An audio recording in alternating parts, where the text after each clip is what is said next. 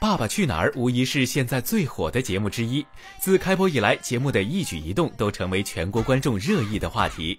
十一月二十六日，湖南卫视微博爆料了《爸爸去哪儿》第一季最后一站的录制地——千里冰封，万里雪飘。果然，十一月二十六日下午，记者在机场见到了王岳伦、郭涛、张亮、田亮四家人的身影。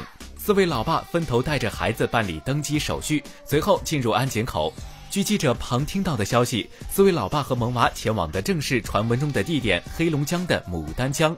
当天最先来到机场的是王岳伦和王诗龄父女。办理手续时，王诗龄一直站在一旁，小大人般的当起了监工。随后来到机场的是郭涛和石头。刚刚抵达柜台，就有人认出了郭涛，不仅要了签名，还要合影留念。这些要求郭涛都一一满足，还摆出扮酷的 pose 配合气氛。张亮父子总是那么特别，天天坐着行李车，扮着蒙面侠出场。张亮也戴着帽子，竖起领子陪衬。然而，尽管如此，还是逃不过群众雪亮的眼睛。一位推着婴儿车的女士强烈要求张亮与自己的孩子合影留念。随后，张亮蹲在婴儿车旁，和车里的小家伙合了张影。这一合影不要紧，立刻引发了连锁反应。